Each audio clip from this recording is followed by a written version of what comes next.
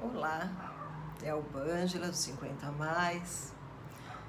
Eu gostaria de falar hoje para vocês um pouquinho sobre as escolhas que a gente faz na vida, independente da idade, mas pensando também na questão dos 50 a mais, a gente faz muitas escolhas ao longo da vida e em cima disso a gente acaba construindo o nosso ciclo vital mas nada impede que a gente possa refazer essa caminhada, mesmo que agora, não é verdade?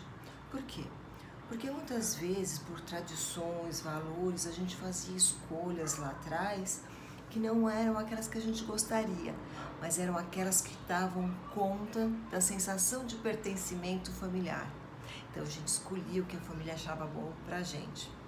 Hoje a gente tem pessoas que estão vivendo a viuvez, a separação, já com uma idade mais avançada, né?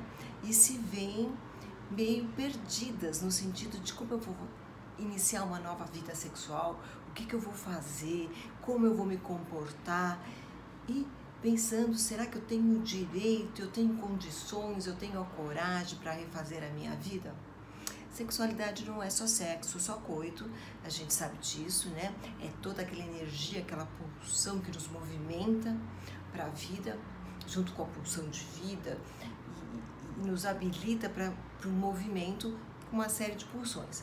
Mas a sexual é muito importante, no sentido de dar atenção ao que desejamos, ao que queremos, então, eu diria para vocês, sempre é tempo de recomeçar, de repensar.